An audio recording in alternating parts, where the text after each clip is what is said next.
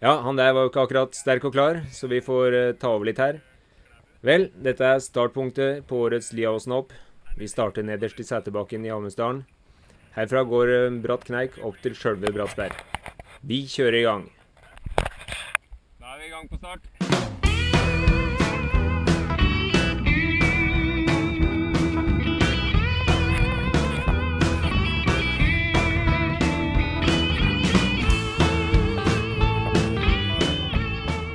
Løypa fra Amundalen opp til Liaåsen er på 6782 meter. Samla stigning er på 364 meter. Løypa går mest på grusvei og terreng, men en liten kilometer går også på asfalt.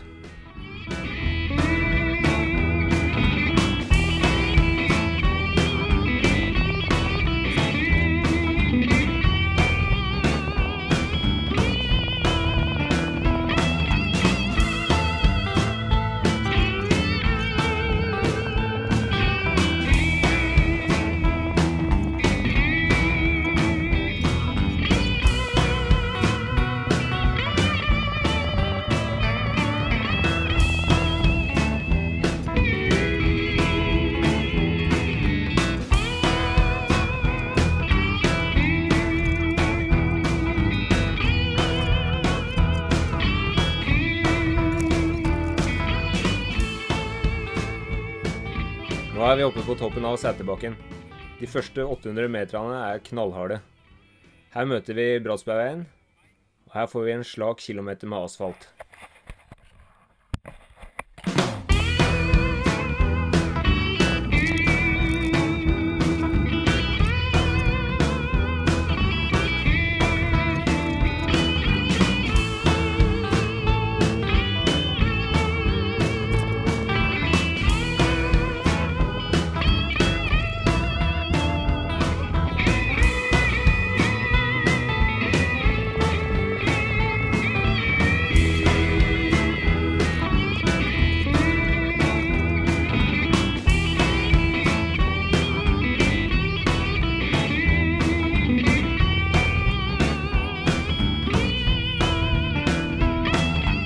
Her ved Bratsberg kirke svinger vi opp Nyårsveien, og motbakkene begynner igjen.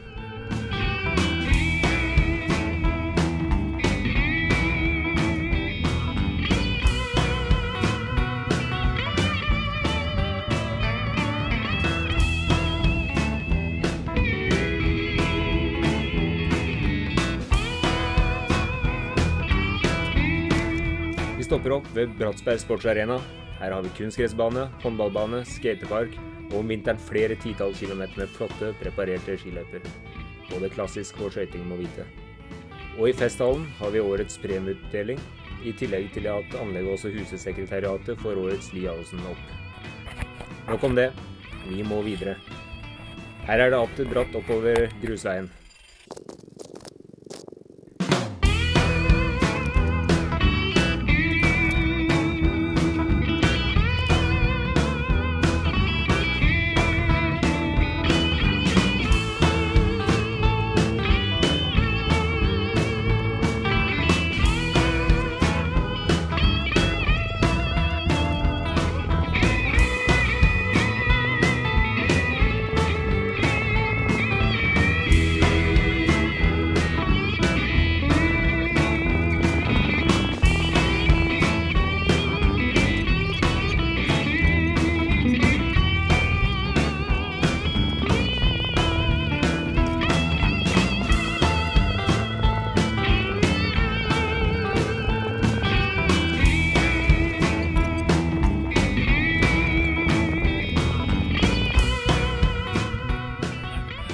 Halvveis.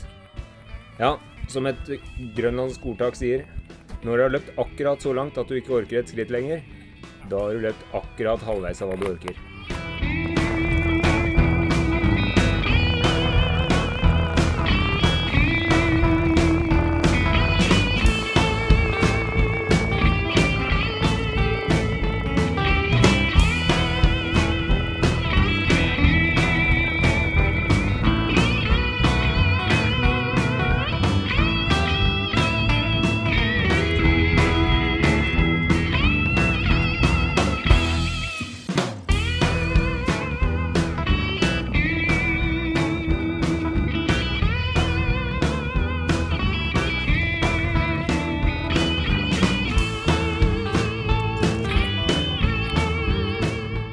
Ved Rosmoen bærer ut i mer naturlig terreng, iallfall skogstier. Slik er det de siste 2,5 km opp til toppen av Liaåsen.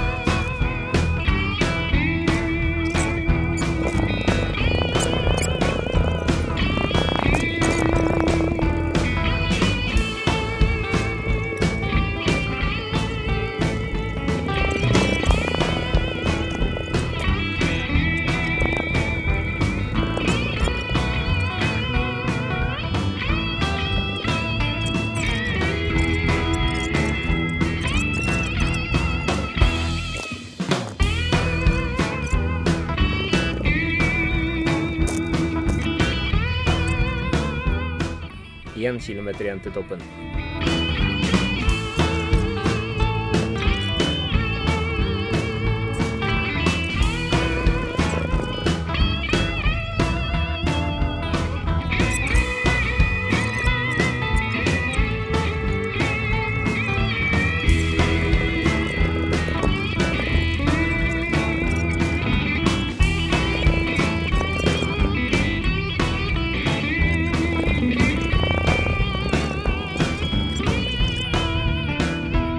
Fem hundre meter igjen til mål.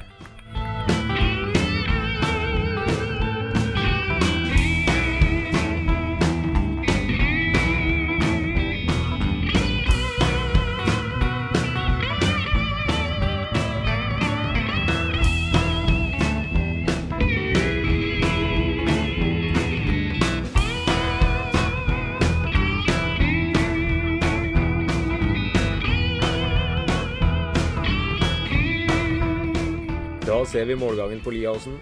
Vi starta i Amunddalen på 80 meter over havet. Og her er ankomsten 429 meter over havet. 6780 meter senere, litt mer andpusten og kanskje en anelse stolt. På toppen av Liaåsen opp 2011. Og sjelden har vel Lerums husholdningssaft smakt så godt. Yes!